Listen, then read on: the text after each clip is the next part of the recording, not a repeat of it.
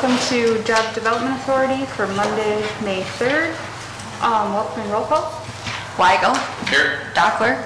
Here. Weber. Here. Mock. Here. Kvamme. Here. Sande. Here. Vein. Here. Mayor Bochenski. Here. Um, Item two, JDA action items. Um, 2.1, case loan request, ODRA. Uh, Thank you, members of the authority. Um, Brandon Baumbach, I'm Business Development Director at the EDC, to present the ODRA application in front of you. ODRA is an original equipment manufacturer for street sweepers with a corporate headquarters in Grand Forks, uh, North Dakota. These uh, road sweepers are used by municipalities and private contractors for road construction, maintenance, and repair internationally. Um, They've experienced a lot of growth over the past five years, and uh, they anticipate a continuation of this trend. So they're outgrowing their current location and are seeking to add on an additional 17,000 square feet to double their, their current production capacity. Um, To support the expansion, the company is pursuing a PACE uh, buy-down on the lead lender's note. The total project is $1.45 million, company equity of 362,000. Um, The request is to buy the interest down from 5.6 on the First State Bank note of just over a million dollars.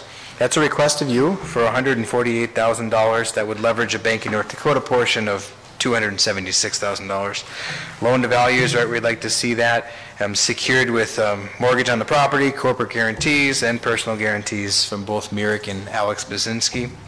Um, Just a note that there are, there's currently two liabilities um, the growth fund is holding totaling $65,000. These are requested to be moved into a second position behind the new dollars um, and behind the First State Bank liabilities. Um, This is uh, common practice for the JDA. The EDC approved this on April 1st, the growth fund approved it on um, April 19th, and they're recommending your consideration of the application. I am joined here by Mirek uh, Bazinski, who is the president of the company, and Carla Uloa, who is the manager of the facility, and all three of us would be happy to answer any questions if you have them. Thank you. Any questions? Mr. Weber? Uh, Just a quick comment. Uh, Congratulations on your business success, and uh, thanks for making Grand Forks your home for your your headquarters here. Uh, Yes? Very good. Uh, I'll I'll move approval. Oh, can we do the public hearing? Uh, Thanks, yes. Um, Let's open the public hearing. Seeing none, Mr. Weber? I'll Close I'll the move public approval, hearing. please. I'll second. And a motion by Weber, second by the mayor. Any further comments? All in favor signify by saying aye. aye. Aye. Opposed, same sign. Motion carries unanimously. Thank you. Item 2.2, C-Run loan request HB Sound and Light. Hello, Chair Mock, members of the authority. Uh, My name is Colin Hanson. I am uh, presenting a COVID uh, C-Run RLF loan from HB Sound and Light. Uh, HB Sound and Light is a production services company. They have three different portions to their company. The first is renting event-related equipment such as lighting, staging, audio, and promoting events. They do the installation of audio, video, security, and streaming services at commercial and residential locations. And they also have uh, live stream and HB Studio production on-site uh, for event purposes. Uh, They have four JDA loans existing. Most are flex PACE or PACE buy-downs, and one existing C-Run loan. All of those are in deferral and in good standing. As far as COVID impact, uh, it's a pretty easy one to demonstrate with the cancellation of many events in 2020 and uh, a a complete drop-off in event sales. Uh, Overall, they saw significant losses in 2020, and going into 2021, things are starting to recover, uh, and this uh, request is going to be part of that recovery for them. Um, As far as the recovery, they pivoted uh, really well to live streaming events, investing in cameras and equipment necessary to do that. They've created a studio in their Grand Forks and Fargo locations for people to host live events uh, or live streamed events. And this fund, these funds are going to be used to purchase a Stageline mobile stage, which allows them to more effectively and efficiently host outdoor events, which they expect an increase of uh, going into 2021 to help mitigate the spread of COVID. Uh, This also allows for them to have more capacity for national acts and moderate-sized crowds. Uh, They will also use the funds to purchase speakers and amps for the stage, and this allows them to host multiple outdoor events at a time, uh, which is going to be crucial for the summer of recovery. Um, As far as the recommended loan terms, we are recommending approval of an equipment loan to purchase the mobile stage, as long, along with speakers and amps for that stage, uh, up to $150,000 in equipment loan at 1% interest, deferred for 12 months, amortized over 84 months or seven years. Uh, At the request of the Growth Fund Committee, we are going to be uh, securing it with a purchase money security interest against the equipment itself, as well as a blanket lien against uh, company assets. Uh, Personal guarantee will be required for this loan, and a turn-down note has been obtained for it. And with that, uh, this was approved by the Growth Fund on April 19th, and I'll stand for any questions. Thank you. Any questions? Seeing none, let's open the public hearing. Seeing no one, we'll close the public hearing. Um, Any further comments or questions? Motion by Mr. Sande, second by Mr. Weber. I'll second with congratulations to you, Wilson. Good to see you, Jamie. Seeing no further comments, all those in favor signify by saying aye. Aye. Aye. Opposed, same sign. Motion carries unanimously. Um, Item 2.3, Accelerate Loan Program.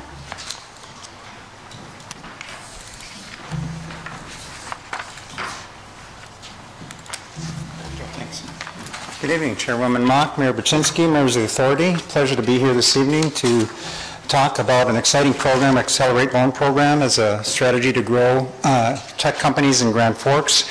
We've talked a little bit about the past, that we have about a third of the typical concentration of technology companies and jobs in Grand Forks, and we think we can do better, and this is an exciting program. We think that we can help some, take some steps in a positive direction. Uh, It's a program to provide high-risk and high-reward capital to promising early-stage tech companies. Uh, The Growth Fund Committee reviewed this program on April 19th and recommended approval, and we're seeking your approval for the terms outlined in the staff report, and then staff would prepare a program description around that and move the program forward. As we mentioned, it's a uh, program to support tech companies uh, outlined, and Meredith Richards did a very nice job in their staff report lining- outlining the eligibility of companies, and they are tech-related companies. Uh, This program is fashioned very much after the LIFT program, Legacy Innovation Technology Fund. Uh, At the state level, it does very much the same thing, and those terms are very similar. They're outlined in the staff report. I'm going to hit a couple of quick high ones. A maximum loan of $250,000, that's a local uh, sort of cap to try to spread this out a little bit. Five-year term, three years, no interest, no payments, two years, 1% interest, uh, balloon payment at the five years to give the company a little bit of a runway to put these uh, funds to use. Um, uh, UCC falling on company assets, uh, it's a loan, we want it back if the companies are successful, and the loan must be matched dollar for dollar from outside investment. One of the things that's not mentioned I want to highlight is there's no mention of a personal guarantee, and it's the intention of staff, and I think when we had the discussion at Growth Fund, to to take a bet on the entrepreneurs and their idea and their technology, but not hamstrung, hamstring the companies with a personal guarantee, to have this product be very attractive so that tech companies are attracted to this resource.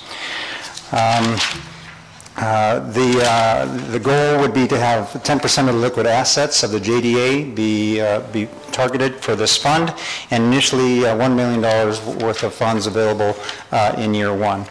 A quick uh, slide presentation, I know we want to be moving, but just want to talk a little bit about uh, the process. Uh, We envision a couple of conversations with the Growth Fund Committee, and what's not on this slide presentation is the fact that the EDC will be reviewing these, the EDC Board will be reviewing these, and we're going to do an enhanced level of due diligence. We won't have the bank as a partner in this case to do that. See at the Growth Fund, have a pitch deck, I'm going to run through that very quickly in a moment, Q and A, uh, look for some feedback, maybe some follow-ups, bring them back later, and then ultimately make a recommendation, bring to the JDA if you are so inclined, the Growth Fund Committee. Uh, In terms of the application, we're going to ask for really what the state asks for from, for for that requirement, so business plans, balance sheets, all of the things that you would expect to, that that we would ask for. And then in terms of a pitch deck, and we think this is extremely important, we'd like to give the companies that are uh, applying for this program a little bit of guidance in terms of what we're looking for. Uh, You can read, so I won't do that, but uh, I'm just going to run through it quick here. But these are the things that we think that we want to know that they've thought about. Um, And slide two, uh, just more of that. So we think these are critical questions. Uh, The Growth Fund Committee will do some very difficult question asking around these subjects and likely ask for follow-up information and come back in a month or so and then, and then provide that feedback, and then you would move it forward. Uh, The Growth Fund would, should they be so inclined to do so. I went through that very quickly. I know we've talked about it before. I'm happy to back up and provide some more information, but I- this evening, we're looking for approval for this program as outlined in the staff report. Are questions, comments? I just, like I s- uh, Chair, Chairman Mock, please, uh, I just want to thank Keith Lund for their- your work on this, and Brandon Baumbach as well. It's been many months uh, in the making. I think this program really sets Grand Forks apart as a leader in building tech and tech jobs. Uh, The local legislators have been uh, really happy to see this as a local match to help support the LIFT program and continue its viability. Um, So really exciting all around, so thank you for your work. Thank you, Mayor. I appreciate your uh, vision and leadership as well. Thank you, and and the authority. Well, let's open the public hearing. Seeing no one, let's close the public hearing. Any further comments or motions? Move approval? By Weigel, second by Kvamme. Any further comments? Seeing none, all in favor signify by saying aye. Aye. Aye. Opposed, same sign. Motion carries unanimously. Thank you very much. Thank you. Um, do we have a motion? I'll second that. And a second. All in favor? Aye.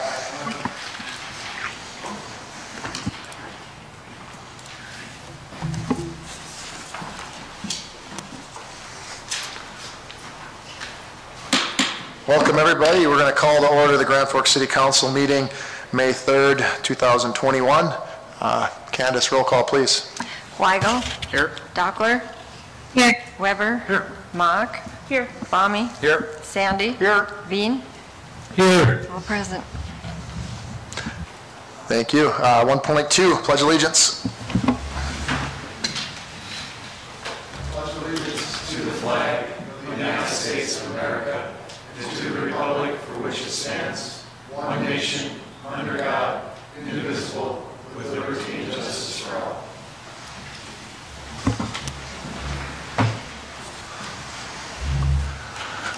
President Sande.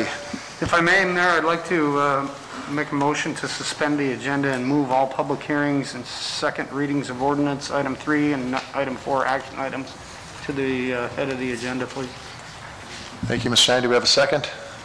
Second from Mr. Weber. So we're going to move uh, three and four, items three and four in full, uh, right after 1.2 and before 1.3. All those in favor signify by saying aye. Aye. Aye. Opposed, same sign.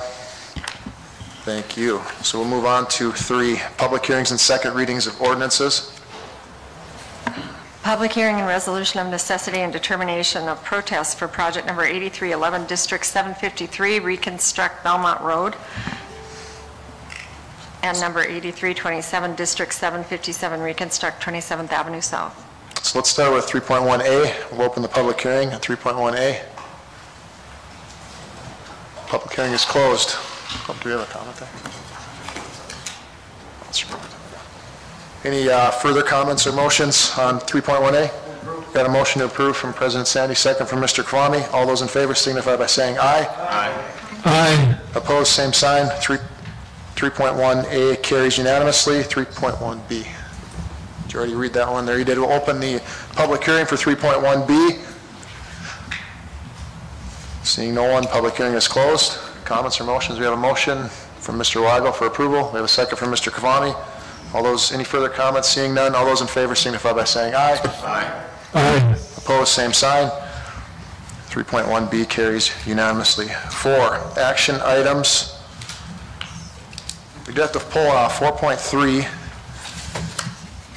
as it's an introduction to an ordinance. Other than, other than that, just 4.10 I was going to pull. Anything else anybody wants to pull tonight? All right, so we'll move, uh, I better get him to the record first. Well, will we hear about 4.11? Or does that need to be pulled? 411? Uh, Yeah, do you want to pull that one as well? Yes, please. Certainly No- can. No need? Very good. No need to pull that. Thanks.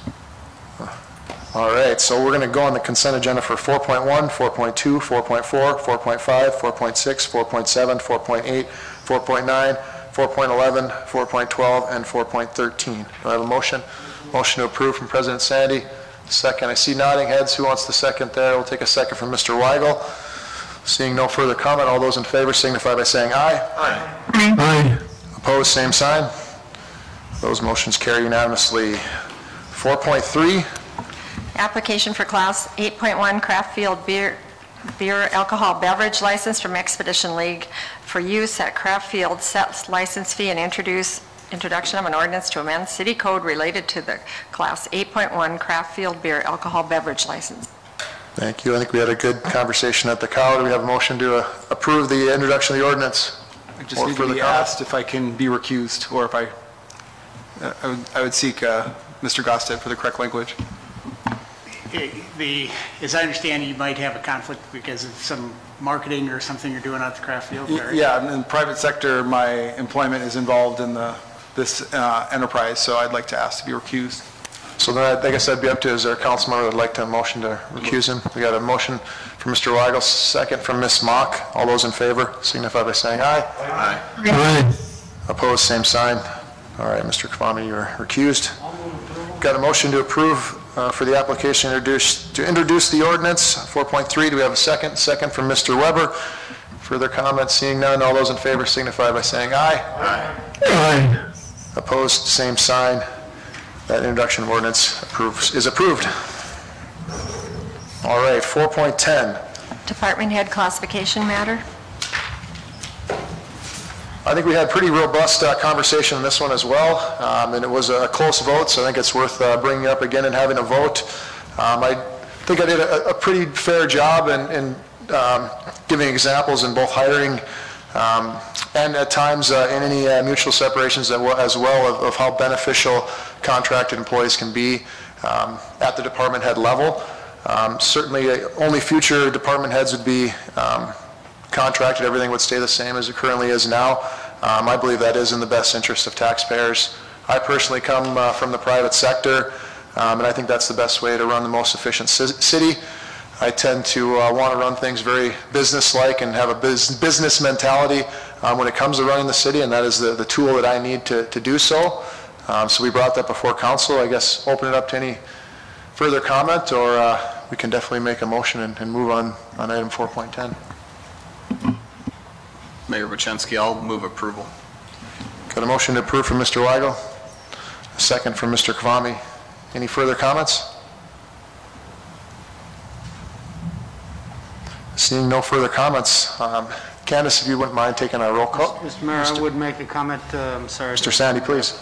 Being late to the table. Um, uh, As I mentioned last week, um, I think that uh, contract employees are uh, a great value to our city. I think that uh, being, having employees under contract provides uh, the right mechanism, in my opinion, for our uh, department heads, and I certainly support that motion.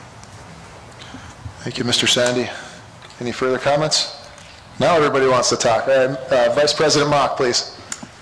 Um, I appreciate the discussion, and I actually appreciate the difference of thought. Um, I don't want to stand in anybody's way. I'm also worried about long-term consequences, so I've appreciated the discourse, and um, no hard feelings either way. I just want everybody to know that.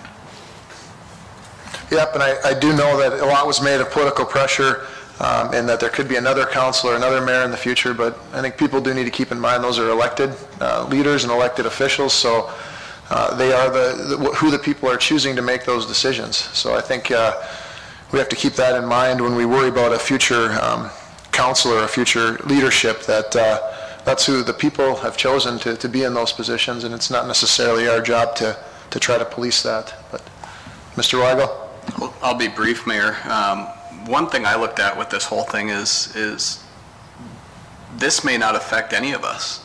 We may not lose any department heads by the time that I get off the council, or Mr. Weber, or Mr. Sande, or, or even you, uh, Mayor Bochenski. So to me, it, uh, it makes sense. And then if a future council wants to go back and, and change uh, what we did or didn't do tonight, I think they have that opportunity. But I, I'll stand in support of it.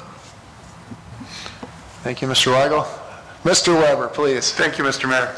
Um, During the co- course of conversations, uh, thinking more deeply about this, this issue, as, as you've requested, um, it, it's become apparent to me that we do have a need for revisions in the current code. uh, possible changes in our hiring processes, uh, especially for department heads, and uh, possible need for reforms to our civil service system. system.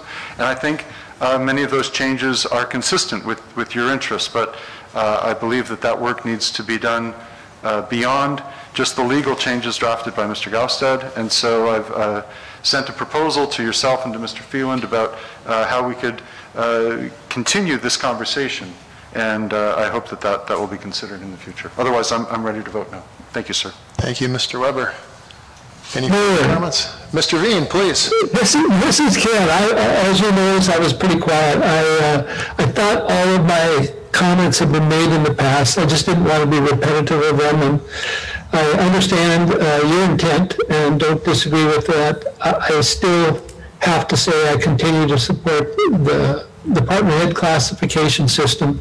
Um, but I, maybe like Mr. Weber, which I have not talked to, would be willing to listen to something additional down the road. Thank you, Mr. Vein. Any further comment? Hearing none, we have a motion and a second on the floor. If you want, if you wouldn't mind, Candace, running the roll call. Weigel? Aye. Dachtler? No. Weber? No. Mock? No. Kvamme? Yes. Sande? Yes.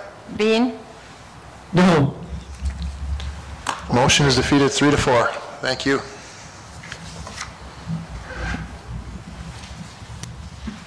Oh, I believe that's all for action items. So now we're going to run this back. I think there's a few people that might have to take off. That's why we move this forward. I don't think we need a motion now, Mr. Gaustad. We can just uh, continue as, as regularly scheduled. That's correct. Your motion uh, suspended it, and we now proceed where we left off.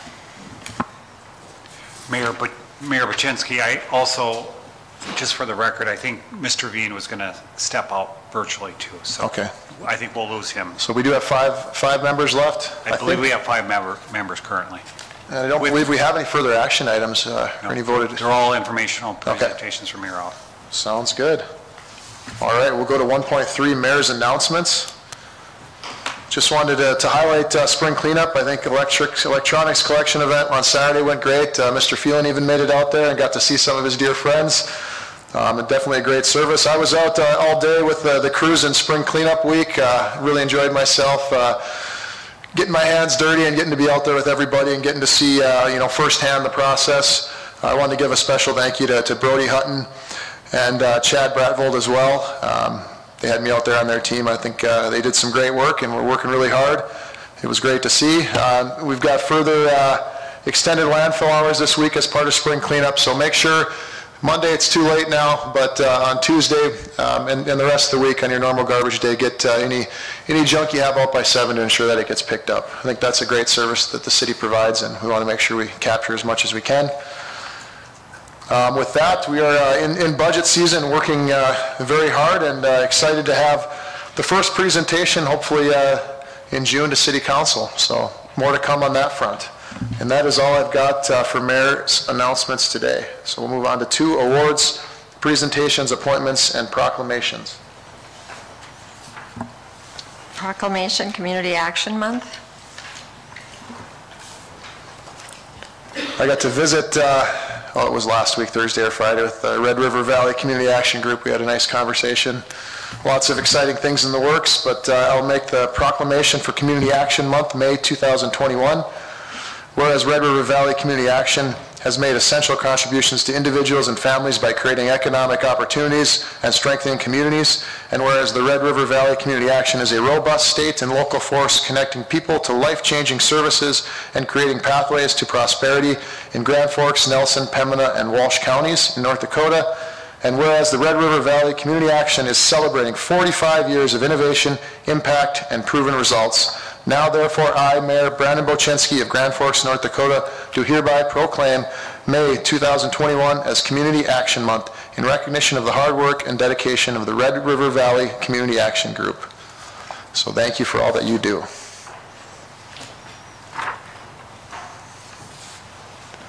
Mental Health Month, May 2021, and Mental Health Matters Briefing Update. I'll do the proclamation first, and then we've got uh, some esteemed guests and a presentation. So proclamation, Mental Health Month, May 2021. whereas mental health is essential to everyone's overall health and well-being, and whereas all Americans experience times of difficulty and stress in their lives, and whereas there is a strong research that diet, exercise, sleep, and stress management can help all Americans protect their health and well-being, and whereas mental health conditions are real and prevalent in our nation, and whereas with effective treatment, those individuals with mental health conditions can recover and lead full, productive lives, and whereas the Mental Health Matters Community Collaborative in Grand Forks works to promote resilience, strength, and emotional well-being for people in the Grand Forks community through education and collaboration to increase awareness and access to mental health, mental health resources. Therefore, as mayor of the city of Grand Forks, I do hereby proclaim May 2021 as Mental Health Month in the city of Grand Forks and call on its citizens to support initiatives related to mental health awareness and its importance to, the, to a healthy community. And we've got uh, Ashley, formerly Ashley Nelson, congratulations, Ashley Cleveland, I believe I'm pronouncing that right, and Lieutenant Bill Mackey to present, so please, please step forward. Uh, Council members, uh, Mayor Bochenski, thank you for, your- thank you for your time tonight. Um, In a moment, I'll uh, have Ashley uh, give you a briefing on uh, where we're at with mental health matters. Um, But I wanted to discuss real briefly that um, her standing up here next to me is a uh, fortunate byproduct of uh, COVID-19. Initially, her position was uh, scheduled to start with the Public Health uh, Department. Um, They've had their hands a little bit full over the last uh, 14 months, and when Mr. Feland and Ms. Bovet were trying to find another uh, location to uh, start this uh, important uh, life-altering uh, position, uh, They thought of the police department because we do have uh, officers that specialize in mental health and, and trying to obtain mental health services for community members that are in need. Um, When the offer was made to us, uh, we immediately saw the benefit of such a partnership, and I must admit that uh, the first couple of months of her position have not disappointed me. In fact, they've very much surprised me at how much traction she's been able to gain and uh, benefit to the community. Uh, At this point, I'll turn it over to uh, Ms. Cleveland. Thank you. Good evening, Mayor Bochenski, members of the council. Thank you for having me tonight. So I am here to give a program update for Mental Health Matters. I, um, well, I have a timeline in here, so I'll get to that. Take your time. If you wouldn't mind grabbing the lights too. Take your time, Ash. Okay, thank you. So um, a lot of people are ask me what is mental health matters, and as Mayor Bochenski um, stated our mission statement. But this really came as a community call to action after suicide deaths were quite alarming in 2018. So in 2019, the schools wanted to start a mental health collaborative in the community, and they um, sought assistance from the mayor's office. It began as a little bit of an offshoot as the call, from the call to action for opioid response. Um, so it was briefly named Call to Action 2.0, but we wanted to rename it to completely separate it because although mental health is going to include those behavioral health, um, we don't ever want to take away from the original call to action for the opioid response. So here we are with Mental Health Matters. Um, I don't need to repeat the mission to you, but um, as you read through it, you can see that it is very broad, and that is on purpose. We need this position to um, be able to evolve as needs evolve. COVID has certainly showed us that that is a most important aspect. Um, and hopefully through embodying this mission in the entire program, then our community will be an emotionally healthy place to live where people are going to receive the support they need to thrive and succeed. So I put together a little bit of a timeline. As I mentioned, the 2019 was when the the group really started coming together. So January 2019 was the first community meeting and it was very big. Um, and a lot of what happened in between then and March 2020 was getting the name, the mission and vision, uh, the hashtag GF Cares, and establishing different work groups. So there was an education work group, data and policy, community awareness, and community collaborations and resources, each of which had a, a more direct mission and vision statement of their own. So at the, um, and I apologize, I forget if they were monthly or weekly, um, we were having quite a few meetings pre-COVID, um, and we would break up into our different subsets and be able to tackle things in smaller groups that were um, more manageable than having so many voices, but also being able to come together so that we were all going on the same mission.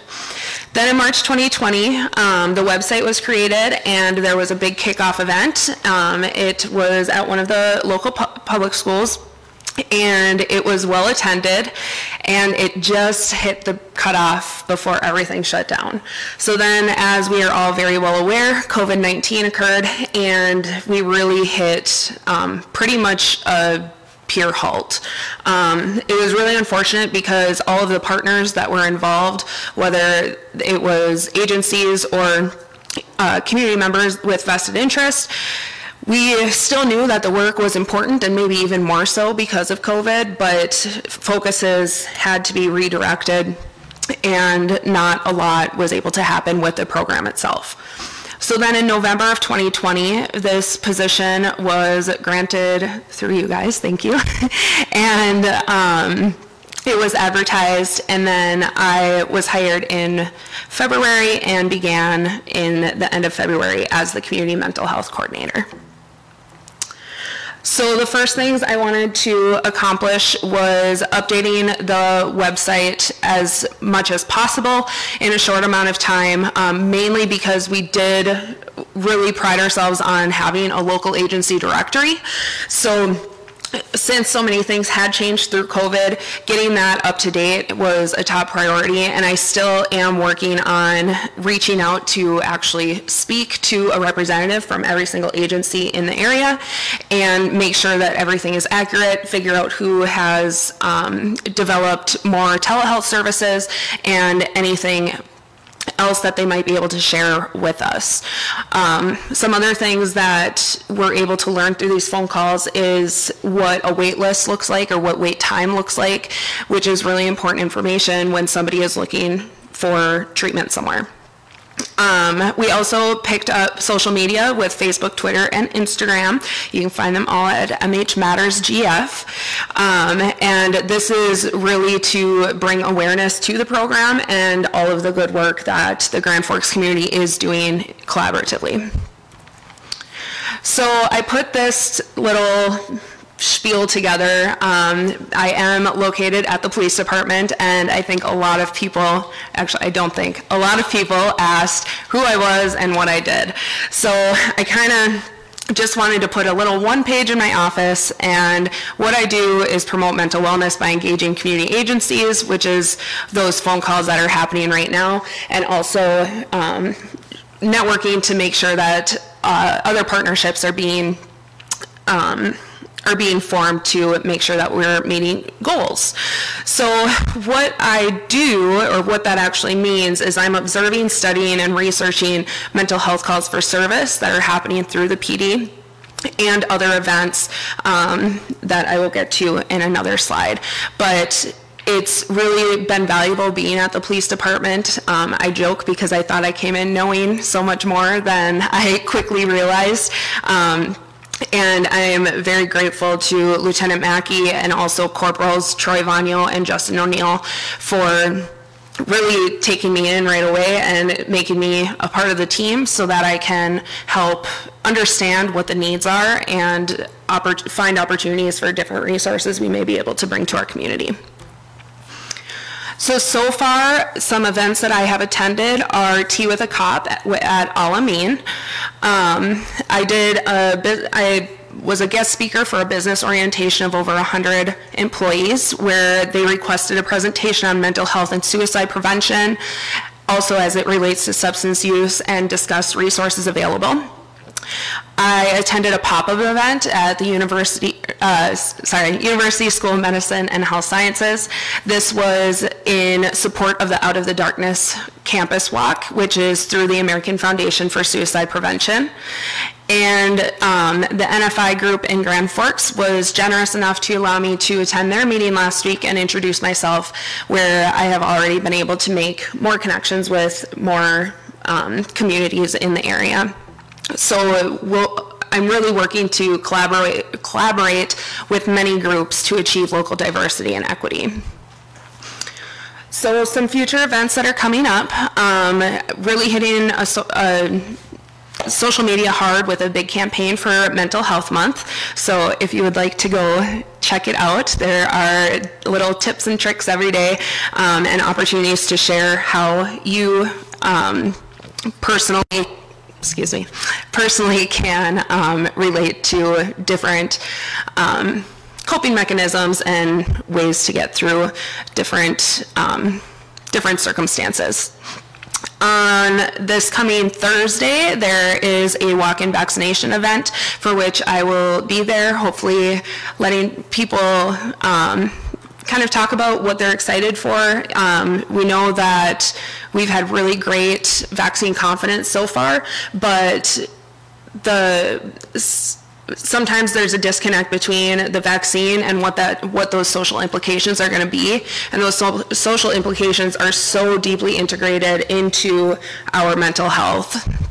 And some of those are more seen than others. Um, so i'm excited to be able to promote mental health in um, also with the COVID vaccine efforts. On May 26th, we'll have a drive-through mental health event in partnership with Prairie St. John's from Fargo. Um, those details are still being worked out. And then in November, I will present to the Chamber Leadership Program and have more updates and how I can um, hopefully help more businesses in the area. So other projects that I've been working on is the One Mind campaign with the police department. This is a campaign that the department has pledged to, to really increase their cultural awareness of around mental illness. Um, this will um, this will sorry, I just lost my word. um, this will ensure that 100% of police officers are all put through some sort of um, eight-hour equivalent mental health first aid course. Um, this proved to be a little bit more difficult but I was able to work with officers in the office to find a replacement program for which the training sergeant will be able to get all of our officers through. So that was a big win. Um, I've also been able to go on follow-up visits and be included in team discussions regarding different resources and situations that are happening, whether that is from a crisis call or other partnering agencies that just need to brainstorm among other um, among other people because it's just some situations are so complex that you want to get more people talking in the same space to be able to find um, find results.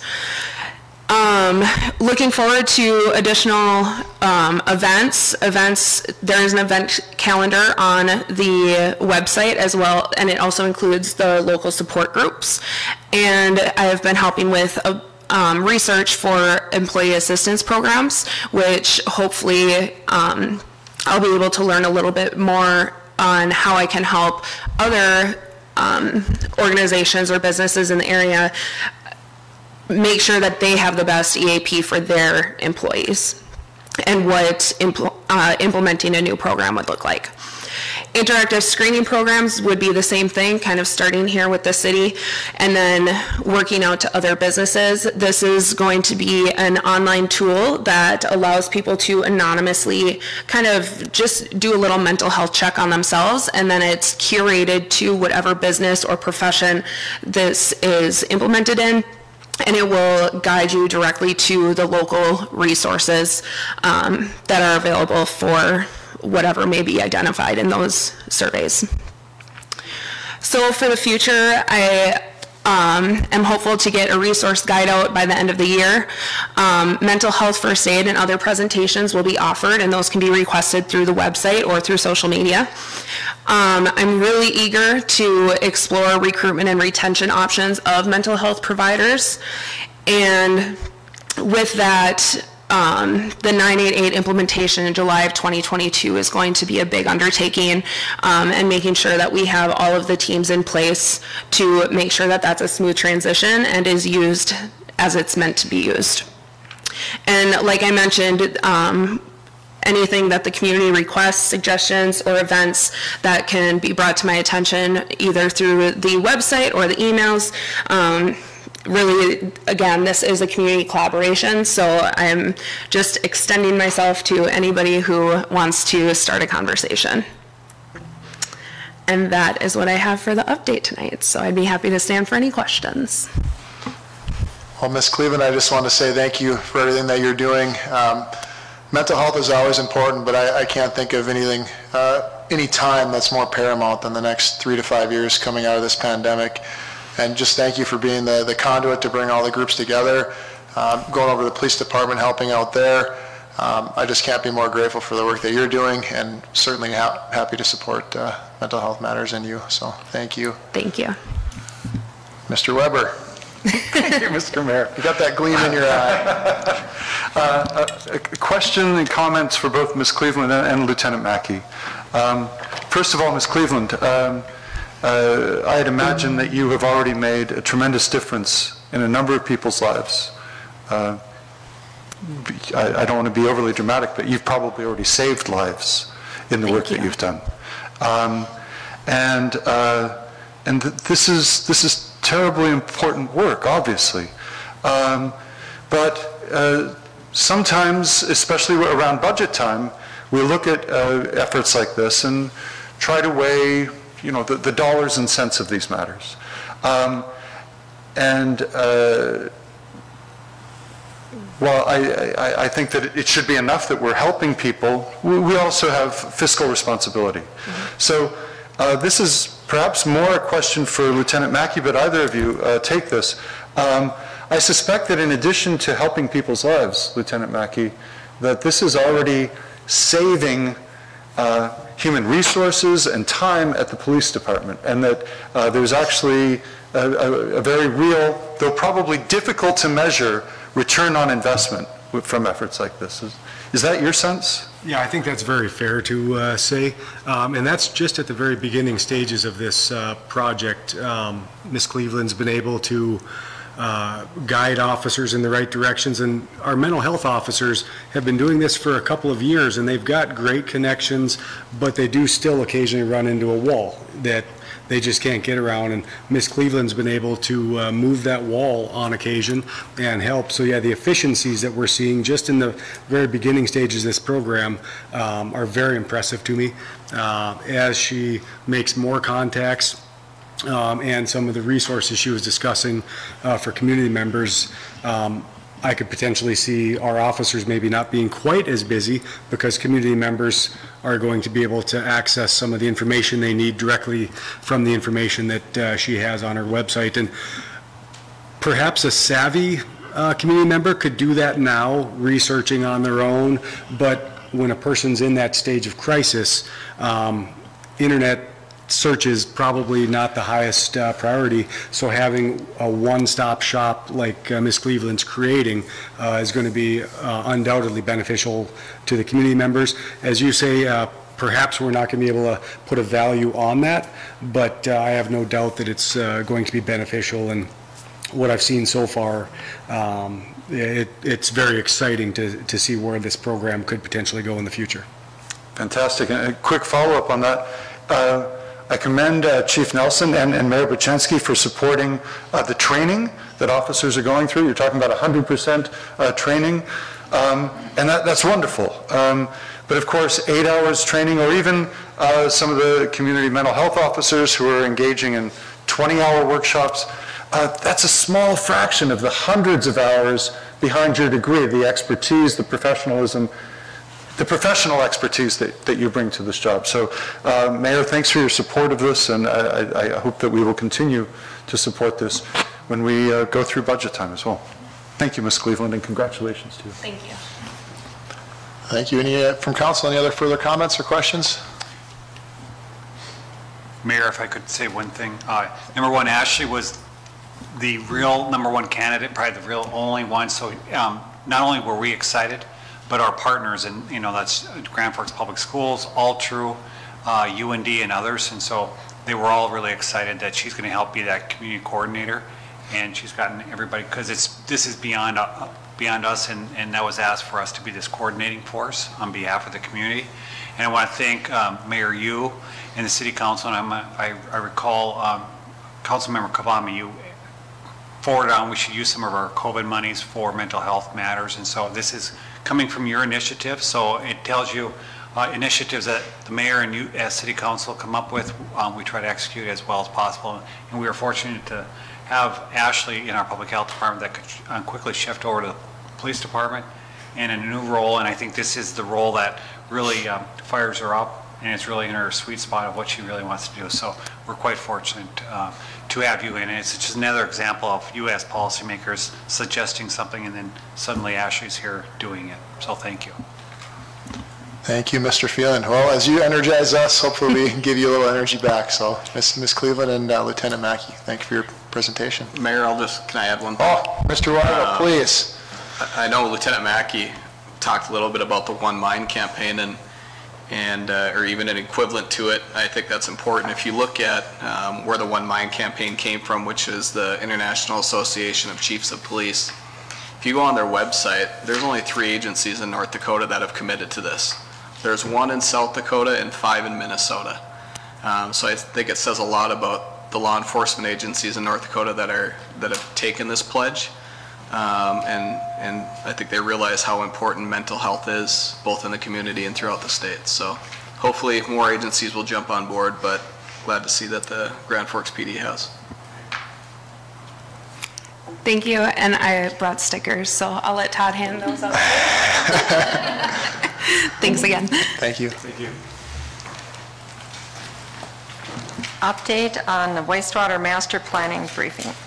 Mr. Feland.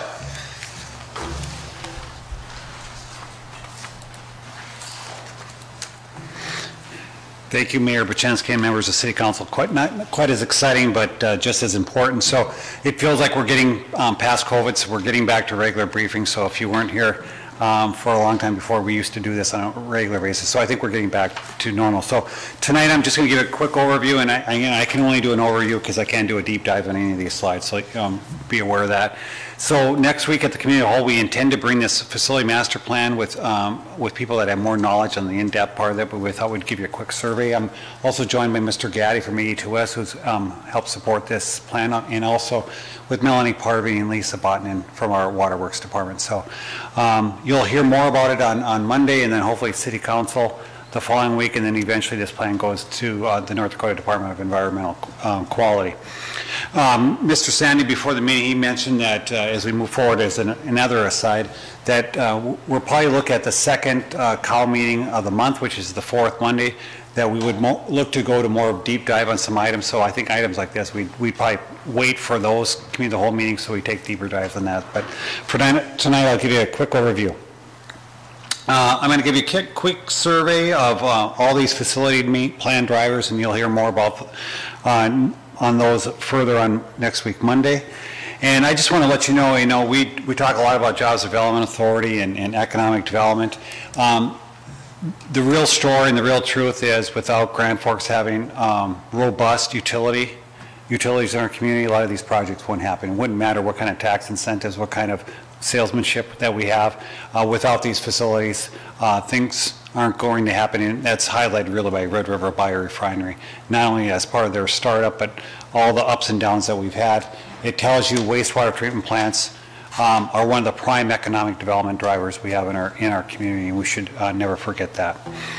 Um, I just want to give you the overhead um, of this. You can see our, where our small imprint of our wastewater treatment plant is compared to these 1,300 uh, acres of of lagoons in our area. So it tells you when we did develop what a mechanical treatment plant does to, to treatment capacity. This facility plan, the one, first thing we wanted to do is we want to send a report to the uh, North Dakota Department of Envi- Environmental Quality to try to rate our facility uh, as much as we can from a capacity perspective, from both hydraulic capacity and also loading capacity. So that's what we're going to do, number one, you're going to hear next week, and I'm going to show you some numbers. We're going to try to re-rate our existing facility and- and have as much capacity as possible until, before we look at what we need to do for uh, additional capacities. Again, this is a footprint of our our wastewater treatment plant, and you can see what we're serving for people, and- and and, um, remember that we're serving um, East Grand Forks too, so that's where we add on to our Grand Forks population. To others, we have 10 significant permit users, highlighted by mostly by JR Simplot and Red River- Biorefinery our two largest. You can see what our average daily flow is, 8.6. Right now, we're rated at about 10 million gallons per day. And you can see what we can load our facility from um, a a loading perspective. So wastewater treatment plants are probably more complex in many ways than water treatment plants in the fact that you have to uh, treat this high strength that's coming through. So um, it's a little bit of different animal than our water treatment facility. Um, This is our, the facility timeline. So uh, it started in 1995 and, and um, probably fortunate for you, after the flood, this, this facility was started. And um, one of the things we learned um, as part of this facility master plan back in the early 90s, I came here as Public Works Director in 2000, so I had the opportunity to try to get this um, facility up and going. It was a bit of a challenge. So uh, we learned a lot about doing a lot of due diligence uh, at treatment facilities like that, so as we move forward, they're, they're easier to start up. You can see where we started up in 2003. Uh, We did some additional studies. In 2006, we resolved some um, litigation that we had regarding this plant, and then we moved forward um, um, throughout the the decade. Um, Even though we had challenges with this particular treatment plant, one of the highlights uh, of the second half of this decade in 2010 and beyond, it really showed is that we got the plant up and going, and it allowed us to work with our industry as they changed. So one big highlight is in 2013, um, we should be very grateful that um, J.R. Simplot chose to reinvest in their facility in the late 2000s and early 2010s. They were kind of at a fork in the road of what they were going to do. They decided to move forward and invest um, probably tens of millions and probably up to 100 million into their existing facility. That was a big win for the for the community of Grand Forks in, in that time period. One of the things they did along the line is they had an aerobic pretreatment system and they decided to change it to an anaero- anaerobic system or without air. And so the big deal as part of our treatment plan is that we could allow them to shift to a different pretreatment system from a wastewater perspective, and we could modify our treatment plant to, to sustain their wastewater flow. That was a big deal, how we were able to adapt to different industries as we move along the way. The other one was 2017 with um, the East Grand Forks Interconnect was a big deal that we could handle them both hydraulically. Um, East Grand Forks does not have American Crystal Sugar integrated into their wastewater system. So they have a separate discharge permit um, with them, which is, which is good. So the wastewater that we receive through East Grand Forks does not include the um, American Crystal Sugar industrial loading, and they have a separate permit on that. And then lastly, um, or the two last things is that we, we came to you in the late teens and early 20s, and we moved forward with a direct discharge system. So before 2020, we were discharging through our lagoons, and so what we asked for is, we needed some alternative backup, so that if we, we used our lagoons as kind of the final treatment process, that we would have an alternative strategy where we could treat. So in 2020, we, we started up a direct discharge. So in other words, we can go from our mechanical treatment plant through disinfection, through a pipe into our discharge, so we don't have to go through the lagoons. It provided us an alternative strategy to discharge our, our wastewater treatment. And then finally, um, we had Red River Biorefinery, and, and that's been well told that um, that was another significant uh, user that we added on from an industrial perspective. It wasn't quite what we thought we, we were going to get at the start, but again, our treatment plan had the available capacity, and we could adapt with them even during times of COVID and, and emergency. So I won't go through this, but when we come back, we're going to notate all the deficiencies and challenges. That's what this facility plan is going to call for, and to include all the notes right here.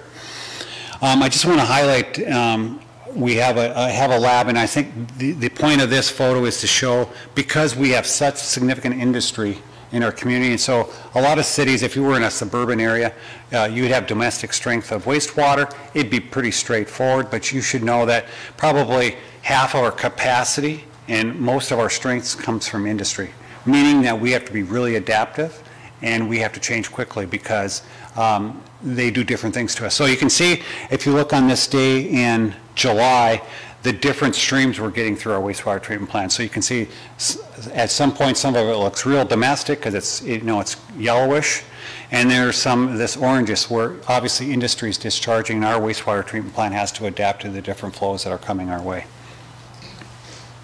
Our current plant with these uh, four bioreactors don't work in a one-to-one. They kind of work in more of an artistic fashion, um, and that's what's meant for these squiggly lines. They kind of work in, in a different way and not in a one-to-one relationship. And so when we go to what we're planning for as we move forward, the other thing about these bioreactors that we have, they basically have air diffusers on, on the bottom, so they're blowing air into the system um, as we move forward. So what we're proposing, um, I'll get to the, I- before I get to that.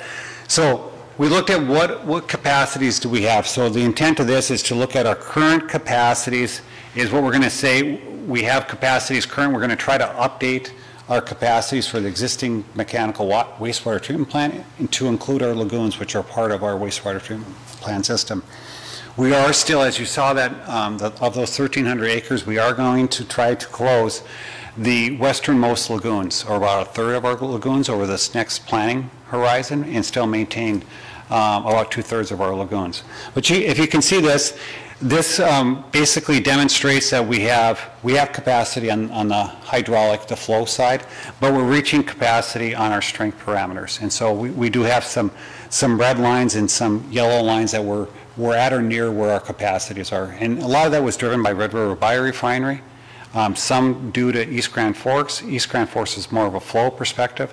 And so we're at the point of having to upgrade um, how we can treat, not from, mainly from a hydraulic capacity perspective, but more from a strength and loading capacity um, as we move forward.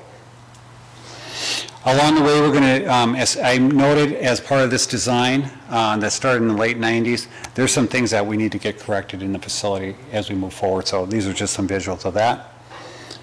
And we're looking at kind of where we're going. So what the team has done, both the consultant and the city staff team, um, all the way down to our wastewater folks, they're to, we're to look at specifically alternative number two, which is this um, bioreactor um, facility. And so um, that's to be the number one. The, they did a scoring analysis, and as part of that scoring analysis, the, the higher the number, um, the better the, the alternative is. So you can see alternative number two is the number one, um, based upon opinions, costs, and operation and maintenance. So similar to what we always try to do, we're gonna, we're going to renew those reactors, but we're gonna do dif- different things in those four reactors. And so it's going to be infrastructure that we're gonna reuse, um, but we're gonna reuse and we're gonna kind of um, renew those uh, insides of those um, particular reactors as we move forward. So inside those reactors, instead of having air diffusers on the bottom of them, they're going to have concentric circles with different kind of treatment capacities uh, as we move forward. So I think it's a great reuse of these reactors, but using them in a different way with a different technology that will allow us to treat the wastewater in even a better and more efficient um, fashion as we move forward. Again, we're going to have uh, four phases um, as we move forward. So I think um, if you were here in the 90s and 2000s, we went through this whole facilities master plan. We, we did a lot of work. And now we've done a whole gener, we've had a generation of a wastewater treatment plant, and now we're so fortunate to now go through the, uh, another generation of how do, how do we going to renew this facility? And that's really where we're at with these next phases over this current decade. And uh, these numbers um, are a little scary when you look at them at first. So you can see what we're proposing, and, and this will be a further discussion with you guys next week and throughout the budget process, is that we're proposing some reinvestments in our wastewater treatment facility from 13.7 million over the next few years, and then more broadly, 31 million um, over the next several years. And then you can see in yellow and blue are some things that we may have to do in the future. Now, we have been planning, the, the gray um, line in below is that we have been incorporating this into our rate analysis planning. We've been including into, into our CIP. So you can see we've included 31.2 million over this a similar time frame, knowing that we were going to be at the um, end of our phase of, of this existence of this wastewater treatment plant. We're going to do have to do some renewal. So just so you know, um, This year, about uh, $30 million of debt service will be paid off of our current wastewater treatment facility, And then I think by um, 2025, 26, the remaining $8 million will come off. So about $38 million over the next um, few years to several years will be all paid off based upon the, the- what we all did in the 90s and the 2000s as we move forward. With that, it's, it's not going to have a significant impact. We are going to propose some rate impacts over the next six to 10 years that are going to be more in the cost of living increases. So probably more in that 3% range is what we're going to be anticipating as we move forward um, over the next six years as we look at this time horizon. And again, this is what we, we, we talked about. And so we want to, eventually want to get the Department of Environmental Quality to uh, approve the plan. We want to get them to look at helping us fund the plan. And I think with the new upcoming federal stimulus and, and state funds, we want to be eligible for some state grants and federal grants regarding updating our facility. And one of the first steps you got to do is get your plan approved by the um, state of North Dakota. So with that, um, We'll go into a deeper dive on Monday, and then you'll see this show up on on the budget process. And this is kind of an overview of kind of where we're going. And I can't emphasize enough, this is probably one of the most important uh, economic development tools. We are looking with other agribusiness opportunities in our region, and the wastewater treatment plant is probably um, in the 1A, B, or C of what these companies want to see, of what kind of capacity you have, what it's going to cost, um, Can you upgrade the facility while we develop our facilities? This is one of the main talking points that we have for the uh, city of Grand Forks. So with that, Mayor, that's kind of an overview, and if anyone has sp- specific questions. More to come next week, Monday, Mr. Weber, too. Well, thank you, Mr. Feland, and I can attest to the the wastewater uh, capacity that uh, lots of businesses have been coming into town, and our infrastructure was, al- is a big part of what sells our, our city, and some of these big employers uh, looking at Grand Forks, looking at the community. Um, Any questions for Mr. Feland on this, or you want to wait and hear more? You got something, Mr. Weber, If I may. Mr. Mayor, yes, please. Um, Okay, it was very technical, Todd. You gave a great presentation, and if I were to take a test on it right now, I don't think I'd do really well, but that's my fault, not, not yours. Um, So we have an expensive project that we're facing, um, largely because of aging infrastructure, increasingly complex water that we're having to treat, and growing industry. How'd I do so far? You did. And and probably aging infrastructure, I think you kind Aging infrastructure, I I think I said that too. Um, Maybe I said it in my own mind, I don't know. Um, And this is going to be about a $30 million project to bring us up to where we need to be. And you're pitching it as a, as an economic development project for us to continue to attract the kind of industry that we have. We, we must have this. Who, who will be paying this $30 million price tag and how long will that be paid for? Is this a, a 30-year bond? Uh, What, what does that look like? Yeah. Mayor Bochenski and uh, Councilmember Weber. Generally, um, the last time we built the wastewater treatment plant, we chose a 20-year um, state revolving loan fund, a clean water SRF, if you will. Um, With the water treatment plant, the most recent water treatment plant, not to mix up the two, but we chose a, in that case, a 30-year um, state revolving loan fund from the drinking water program. On this one, we'll have to determine whether this should be a 20-year or a 30-year. Probably makes more sense being in 20-year. And a 20-year note uh, through that program is 2% uh, generally. Um, So I think we'll have to do that. We're also going to look at grants, you know, whether it's state or whether it's this upcoming stimulus, infrastructure stimulus plan. Um, The federal government's going to fund three things, on broadband, water, wastewater, transportation. Those are going to be the main functions I I could anticipate, along with other, the other things they're calling infrastructure, but those would be the four main things. And as we provided that earmark briefing, the wastewater treatment plant was one of our things. So how are we going to pay for it? This is a great facility because everyone enjoys it, so everyone will pay their fair share. So we have customer classes of residential, commercial, and industrial, and we do cost of service um, rate impact analysis. And so all three of those categories will pay their fair share for this. Um, The one thing we always have to determine, who pays if there's future capacity? Where, who has to pay future capacity? Generally, when we have uh, additional capacity, we put that on to the residential as from an economic development perspective. That's how we've looked at additional capacity. We'll have to see what kind of additional capacity we build into this and who pays for that uh, amount. Yet to come. Thanks, thanks. That, that was helpful. I, I, I normally don't like having these conversations while the cameras are rolling because I, I embarrass myself and I don't want to embarrass others either. Um, but we're going to put this on our resi, on, on our, our residential con- consumers. Um, an economic development project. And, and in many of them, uh, this is part of aging infrastructure. It's inevitable. We have to treat our wastewater.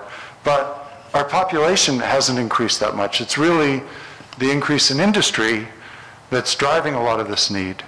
Um, Shouldn't we be balancing some of that on industry? And I realize we don't want to charge them because then we scare them away and we don't have the economic development that we're hoping for. But there's, putting it all on the backs of the residential consumers seems, No, Mayor Bochenski and Thanks. um, Councilmember Weber, um, everyone pays their fair share, no matter what. So we shouldn't think, because I call this an important economic development engine, doesn't mean they don't pay for it. So I'll give you examples. Red River Biorefinery pays their fair share. Simplot pays their fair share.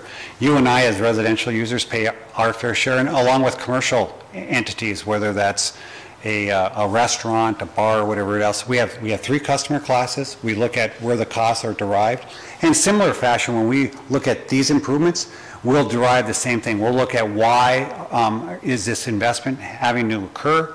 Um, Who should um, we parcel out the cost to? And then how do we impact that with rates? How do we proportion that? We do that every year. And with new improvements like this, we're going to do the same thing.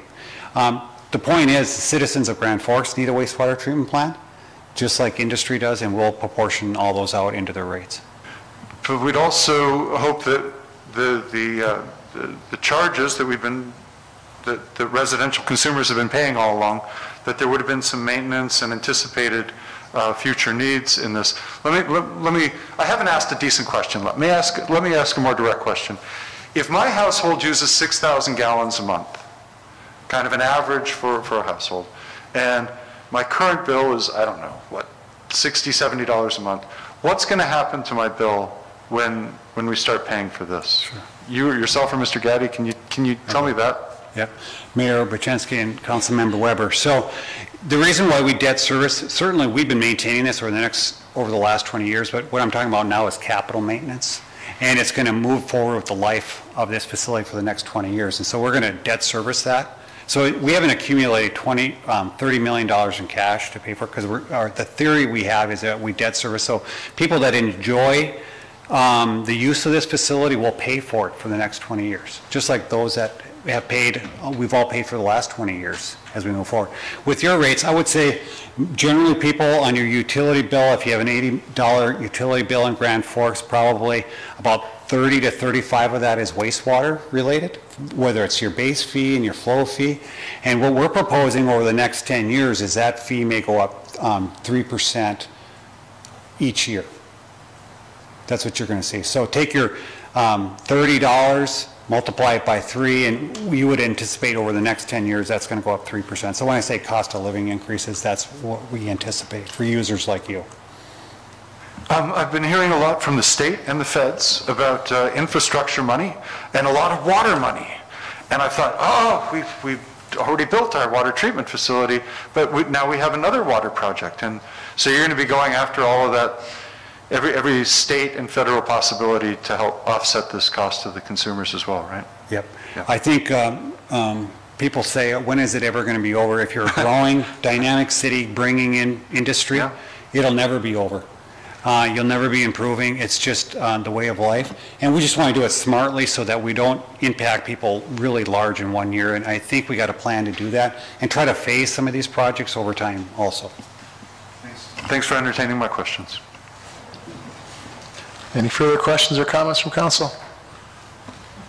All right. And and they'll be back, Mayor, there'll there'll be a group that will be able to have, provide more in-depth answers. Yeah, if Mr. Guy is going to come and sit here the whole time, we're going to have to get him up on the, uh, on the, there to speak, so. Thank you. Residential recycling service briefing update?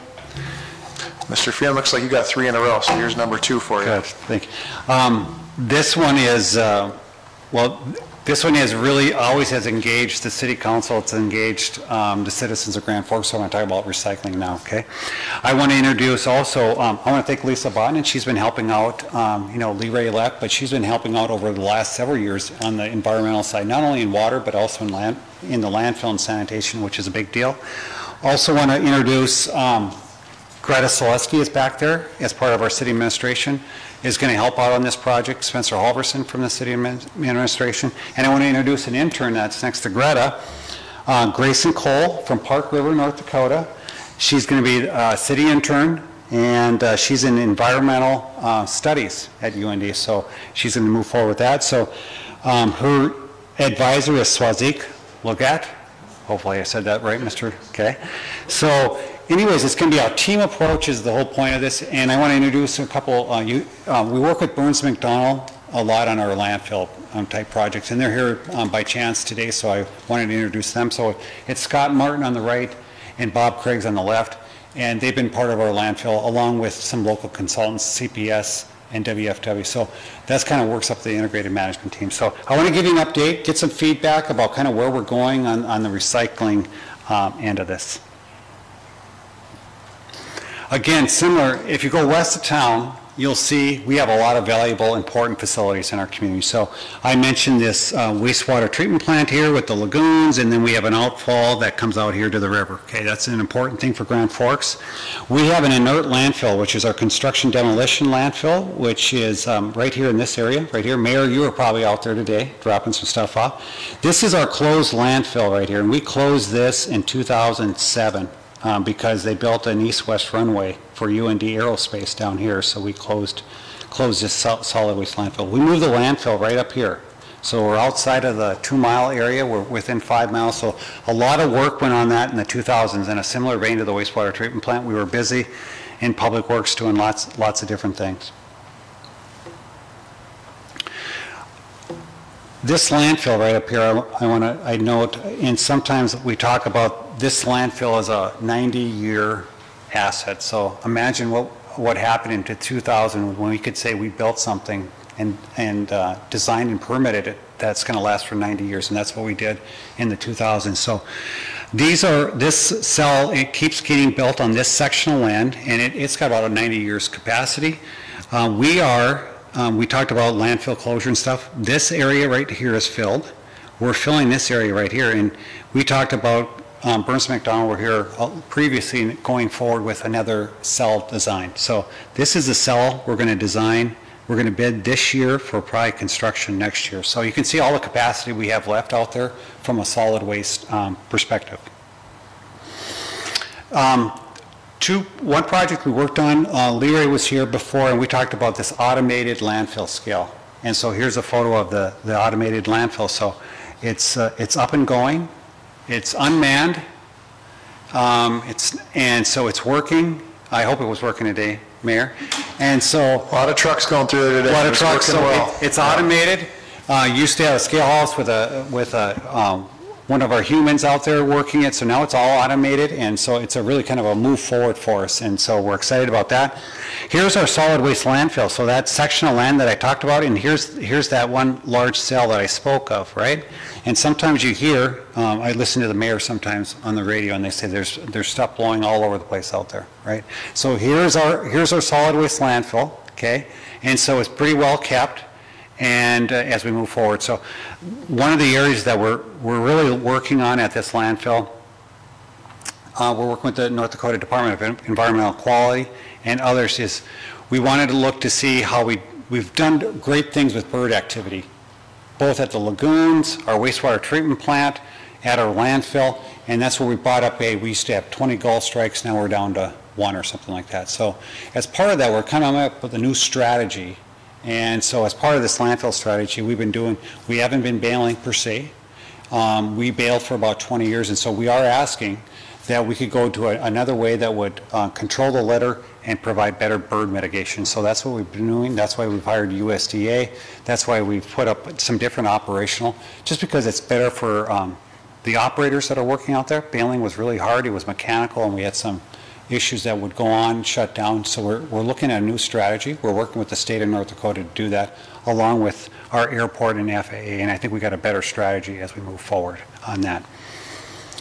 The point is, I hand, I attached two um, waste management logs there, and so what the waste management logs show is that we, we bring into our landfill, both the solid waste landfill and inert landfill, about 100,000 tons um, um, a year. And so, and a lot of it, similar to what Altru does and similar to our shopping, this landfill truly is a regional asset.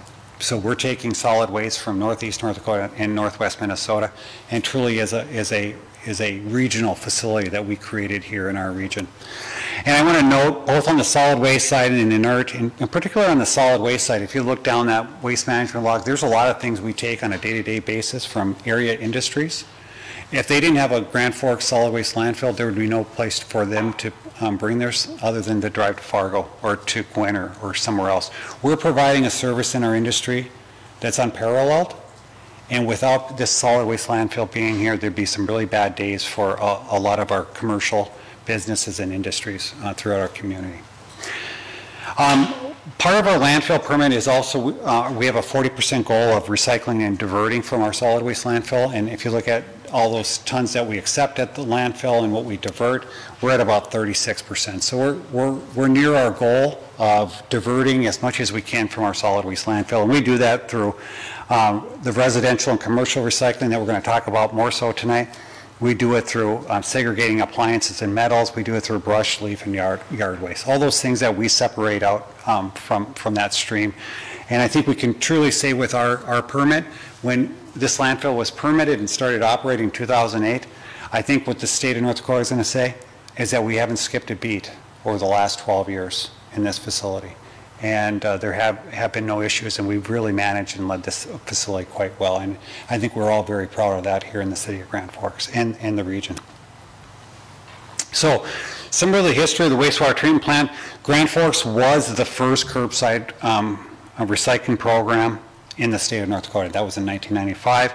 And you can see some of the changes we've made. We, we went to single stream from sorts, sort, sort separating um, all the recycling. Um, If you were here in 2012 um, to the 2014, we had a lot of discussions about where we should be going with recycling. And, and we had an old friend, council member Bjerke, that was a skeptic of recycling, as you can about imagine. He led a task force along with uh, former City Council Member Kreun, and they worked and, and kind of figure out what we should do. So what we decided at that point in time, there was a push to go full in pay as you, pay as you throw, right? Where everyone would get a, a 90 gallon um, recycling can and an associated solid waste can that they would pick a 60 or 90 and we'd be off and going with a fully automated system both on solid waste collection and, and recycling collection. Well, we stopped short of that. Um, as I recall, there was a former mayor who voted against moving forward with that full, and, uh, so Mayor, there's, there was a moment where Mayor Brown did not agree with what staff did, and he did uh, not vote for moving forward for whatever reason, only six members showed up, so. So what we did is we stayed with what we had. We didn't go with the fully automated system. We kept with the single stream system. We added some apartments. We added some customers along the way. We added some small businesses, but we basically kept uh, kind of do as you, if you got a container, just use your own container, or we'll bring a container out there. But we, we kept it simple. And because the city council at that point determined, including our Mayor Brown, determined, uh, let's not invest any further than what we did. So we took a pause, and that's how we've gotten past, through the last seven years, is that we kind of kept on doing what we're doing as we move forward.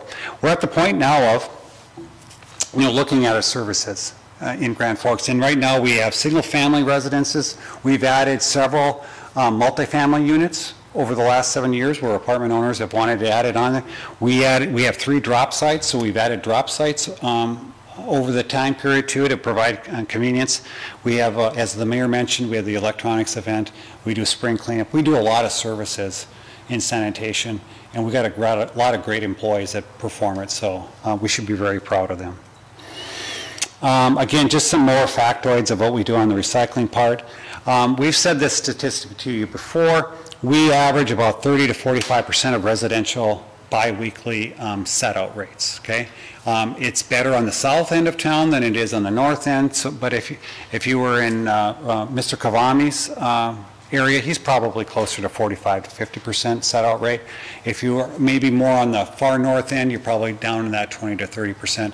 But I think in average, we're 35 to 45% of set-out on a monthlies. And remember, we're doing bi-weekly, so some people set it out once a month, some do it um, twice a month, because we do it every other week.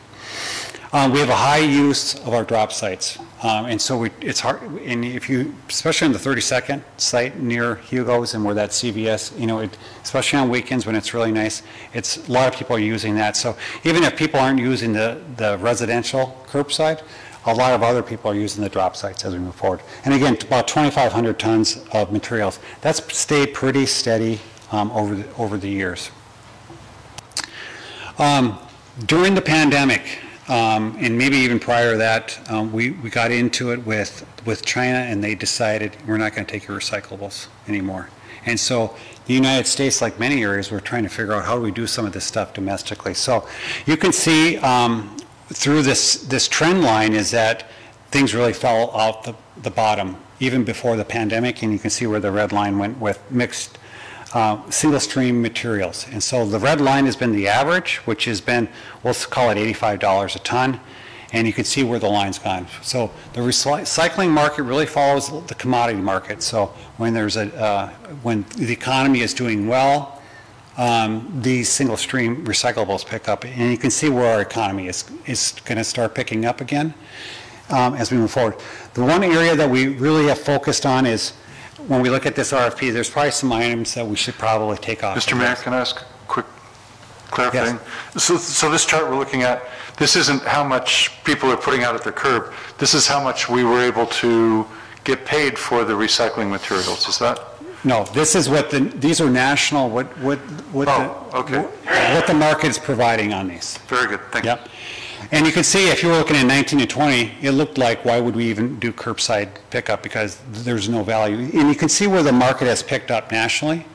And because the market has adjusted, even despite China not being in the market like they have been, uh, Waste Management and others, where they take our, have looked at other markets where we can move forward. However, I would highlight two areas. Um, Glass is still at zero.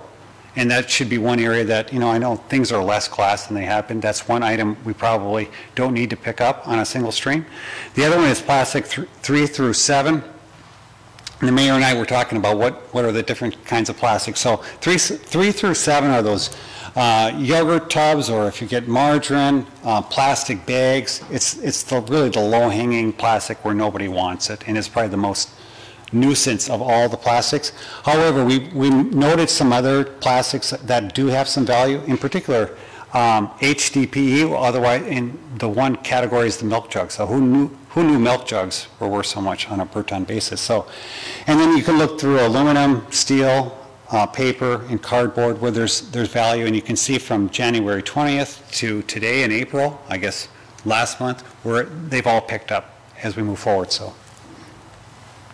We looked at some benchmarking of other communities, and we, we knew this even despite our 11% increase that we, we took on this year, is that we had a competitive rate. And this, this category shows that we do have a com- competitive curbside rate uh, per unit, uh, comparable to other cities like Fargo, Bismarck, and Moorhead that have a similar service than, than we do. Um, Fargo and Moorhead are, are doing it as a city and then going to a drop site. Um, we have Waste Management, who are the next vendor, they pick it up and they also drop it off and then they market it. And ours is being marketed in Minneapolis. So uh, we have similar um, service frequency. frequency. Um, the other three communities, I will say this, Fargo, Bismarck, and Moorhead, they have gone to this 90-gallon rollout cart, cart, side load cart that we have not gone to. Um, I would suspect that'd be one area that people would pick up on the recycling if we wanted to them, because it'd be more convenient and, and more uh, whatever, that it would be a better service level.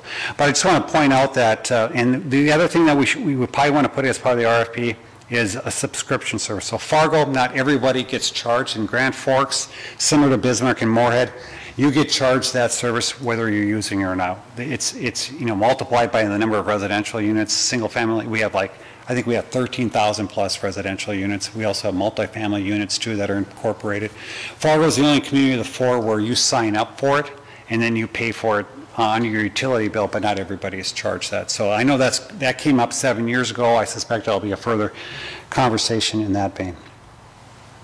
Again, we have a lot of work to do between May and July, and that's why we formed um, this team to try to work to the end. So we're kind of here as a kickoff.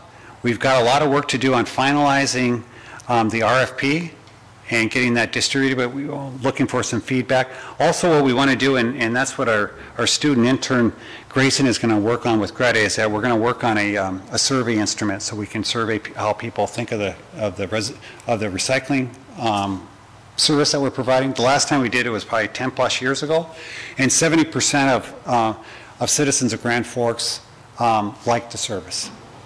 And so we're going to do a similar survey, do some price points, so you can get some idea of what people are thinking about the service, kind of what improvements they'd like to see. Try to do that so that when we come back with an RFP, that'll have a, a series of different menus that you can pick off. So my, really my intent is to have um, a menu of which you can pick off as part of this recycling service contract. You will also have the, uh, the thoughts and opinions of the citizens Grand Forks and get some sense about what they like and what they don't like, whether they think it's, this is valuable or not. And so we'll work on that from May to June, and then in July, we're going to be here presenting the budget, and you'll know that along the way. We're, we're going to have to put this, whatever we- the outcome is, um, the mayor presents his budget in July, we approve it in September, but we got to get going with all these, um, getting some further information so that we can have some detailed conversations with you um, moving forward. Again, so I would say, uh, what we're going to consider is part of the RFP. Um, We've had a seven-year agreement, we had a five-year agreement that we, we extended it a couple of years. One of the discussions is should we provide carts to single-family uh, residents? The one idea we came up with working with Burns and McDonnell is there are some grants for external funding that um, you can get um, organizations to pay for carts, and that was not available, you know, seven, eight years ago. So that's an opportunity we're going to, we're going to explore as part of this, of whether that we can make that happen. And they've done some reach out, and they are actually interested in in supporting us on that. Uh, Collection of the full suite of commingled materials. I think commingled recycling, single source is really the best way to do it. That's what everyone's doing. Um, But we should probably edit out um, some of the materials that we're collecting. And at the very least, what we'll do is um, bid it so that, uh, with a price with it and without it. And so we can pick off a a menu of events.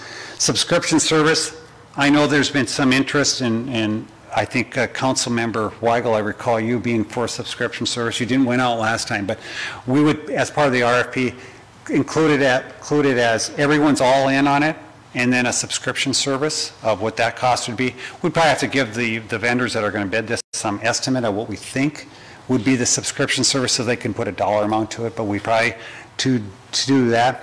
You approved the Grand Forks Air Force Base and uh, agreement tonight, and really that, what, what that is a kind of an annual agreement.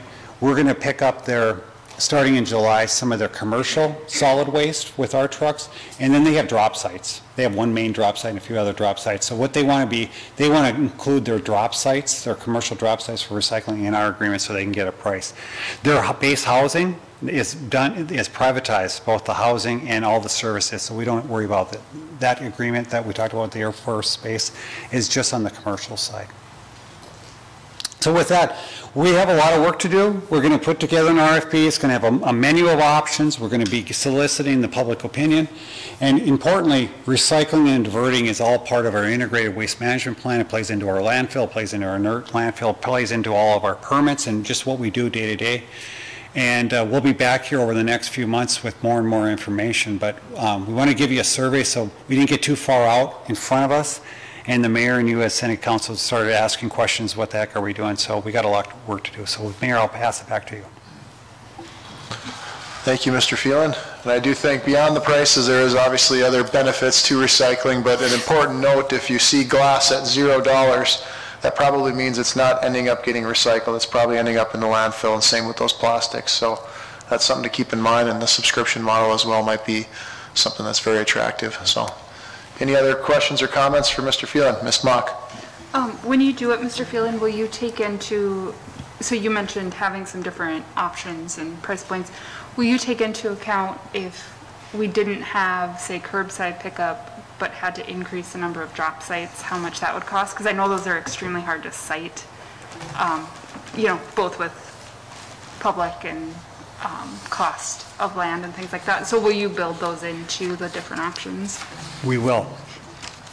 There's an operational cost, but there's also a construction cost, and then finally, um, trying to get people willing to site them. And I'm really thankful, one's at Public Works facility, uh, one's at the uh, 47th Avenue South, um, forget the name. Valley Yes. Dairy. Thank you, Valley Dairy, and then obviously the Hugo CVS site. So we're really thankful for those two private sector companies allowing us to be in there. It's just hard to site, site these things, and, and they need to get bigger and bigger. It's like the Yardway site. Um, Everyone wants them near them, but don't put it new- too near me. It's hard to find that location. We will do that.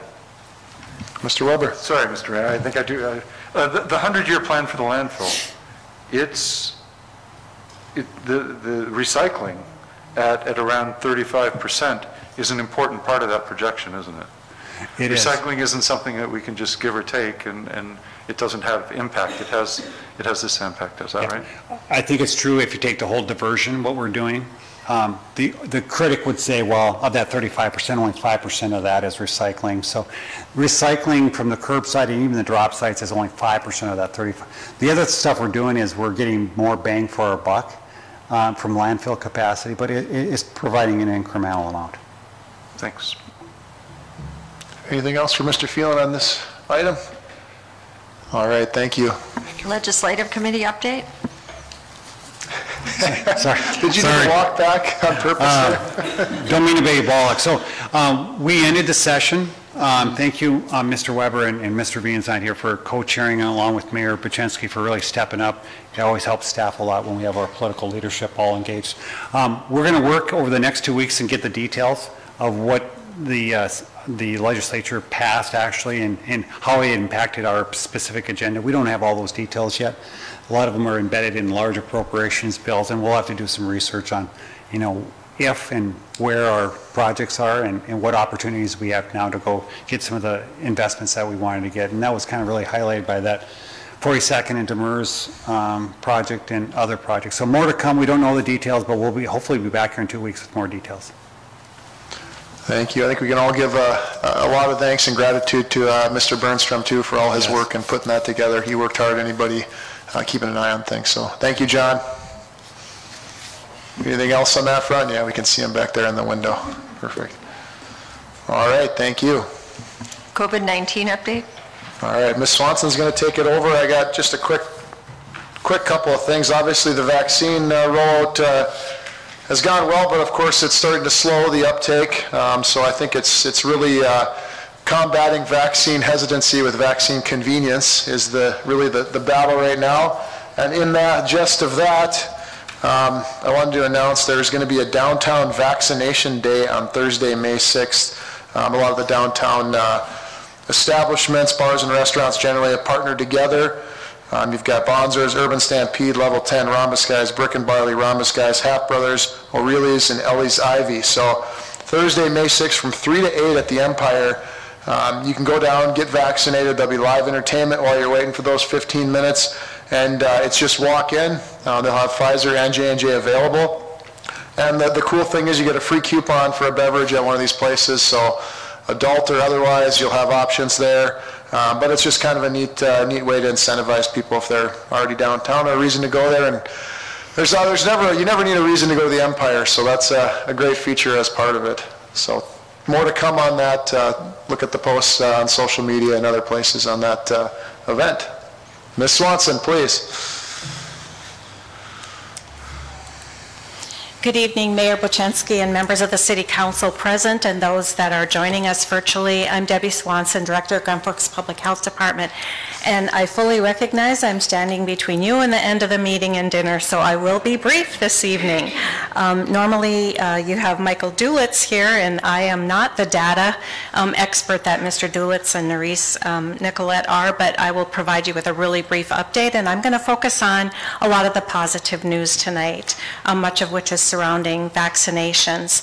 The event that Mayor Bochenski just mentioned is by one of our uh, community partners, Altru Health Systems, is uh, going to be doing the vaccinating at the Empire, and we are focusing some of our efforts in some other pop-up type events that you'll hear more about later.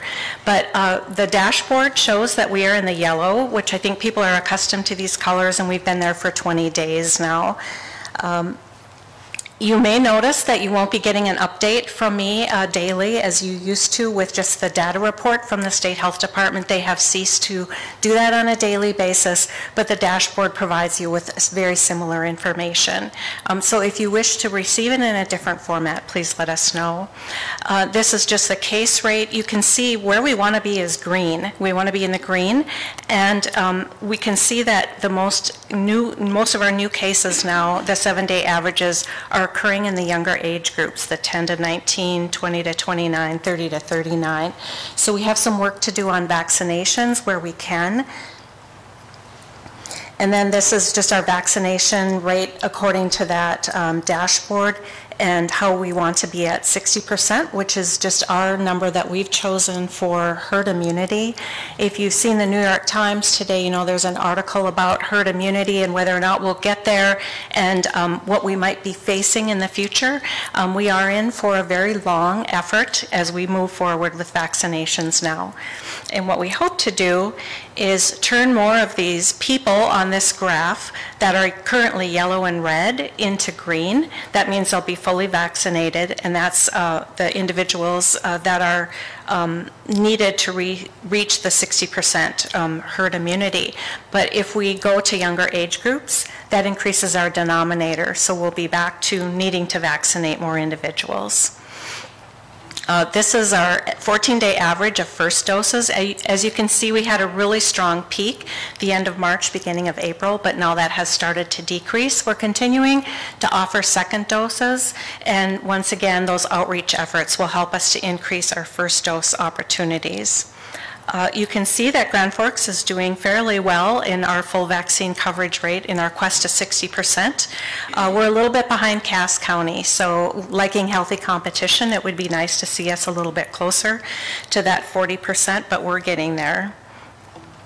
Uh, This is where Grand Forks County really shines, and that's in the area of vaccinating our most vulnerable according to age. So individuals 65 and older, we've hit the 90%, which is really phenomenal. Uh, You can see that's way above the state average and above all of the other peer counties that we're comparing ourselves to. Uh, It's 92% in those individuals that are 65 to 74. That's a group of people that are very vaccine accepting. Um, They've seen vaccine preventable diseases in their lifetime, so they value it, and there's been really strong uptake there. And then another really bright spot is the percent vaccinated among those children that are 16 to 17 years old. Remember, they can receive the Pfizer vaccine. Uh, That's the only vaccine that right now is approved for that age group. And we are really doing a phenomenal job at 37%. And this is before a really robust effort to find those children. Uh, Many of them have attended our events along with their parents.